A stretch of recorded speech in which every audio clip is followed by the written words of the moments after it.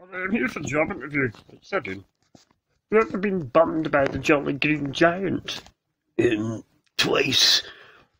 Oh, interesting. You know, He's my uncle, Big Jolly Green Giant.